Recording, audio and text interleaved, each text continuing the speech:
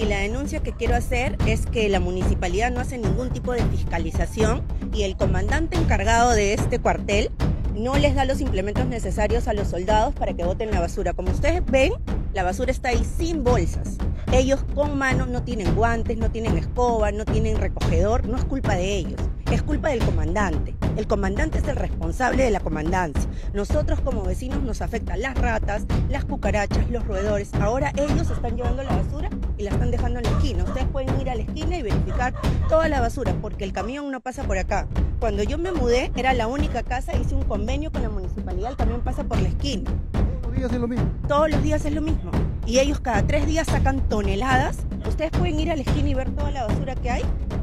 Bueno, nosotros como ejército siempre hemos solucionado, hemos con la señora, hubo un malentendido, una falta de coordinación, pero en fin, ya desde el mismo día la señora hizo su queja, una basura se está metiendo en bolsas negras los residuos sólidos y asimismo también se gestionó con la municipalidad de Chancay.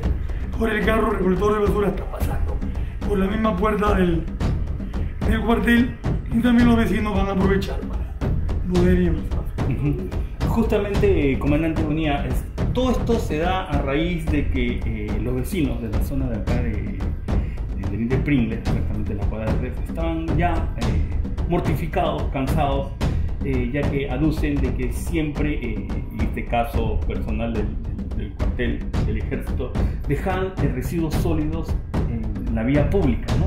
Y como el carro no pasa, se quedan varios días, Esta parte, como ustedes sabían, casi más de un año el carro de de basura no pasaba la puerta del cuartel. Entonces, ¿qué hacía el personal de tropa? Juntaba la basura en un carrito y tenían que llevarlo hasta el 1 de mayo. Bueno, eso ya se corrigió. Me disculpa el caso, depende de la vecina. Mala coordinación, pero ya esto se ha corregido y a partir del día de ayer, antes de ayer, pero la basura está pasando. Le voy a decir, ya coordinó con el ingeniero Oscar Ramos de Residuos Sólidos y él hizo llegar un oficio también, con él también ya se ha comprometido y está. Incluso el día de mañana van a venir a hacer una capacitación al cuartel cómo se, se recicla residuos sólidos a los. Un mejor manejo y evitar.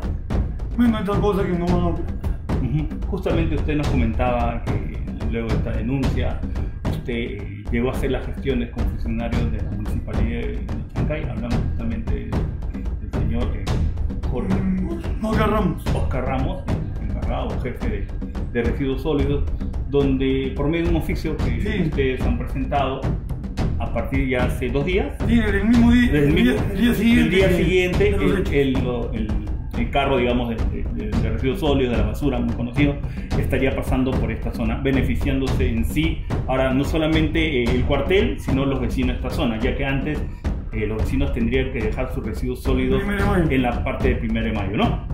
Así es, incluso no pueden ver los vecinos, pueden apreciar que ahora todo se encuentra totalmente limpio. También ha pasado, lo he visto. y bueno, la comunidad de que esas cositas a veces fallan porque por falta de coordinación. Yo, ¿verdad? No me el ejército que represento acá.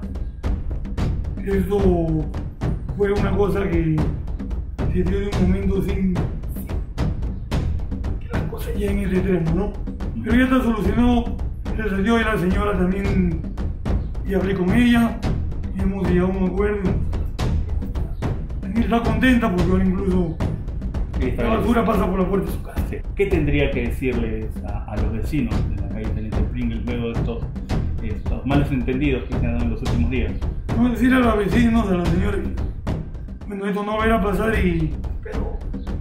Estar bien y no se preocupen. La, bueno, probablemente la señora que. dio su queja de que, que esto no va a. Mm, Justamente también en las redes sociales decía que antes el carro de, de residuos sólidos entraba hasta el ejército, llevaba los residuos sólidos y se retiraba. Ahora ya no entra. ¿Nos puede explicar por qué pasa esto? Bueno, antiguamente ingresaba porque ustedes, como pueden ver, antes no había los módulos. Entonces, cuando no había los módulos, la, la reja se encontraba alta. Entonces ahorita como ya le han hecho una columna de cemento, si me la Ya no entonces ya no puede pasar. Razón, que incluso no pasaba, como digo, el, ni siquiera pasaba el carro por la avenida. Entonces debido a este, de la vecina, ya está pasando. De lunes a sábado